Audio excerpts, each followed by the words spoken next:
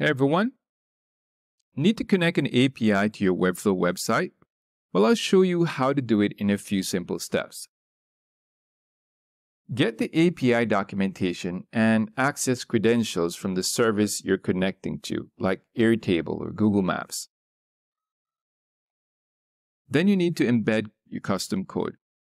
In Webflow, go to the designer and drag an embed element onto your page.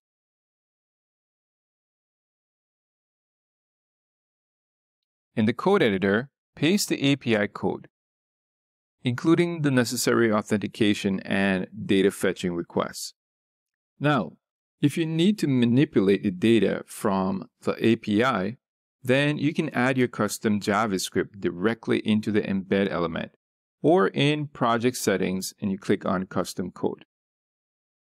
All right, publish your site and test the API connection. If this helped, then give it a thumbs up and subscribe for more tutorials. I'll catch you next time.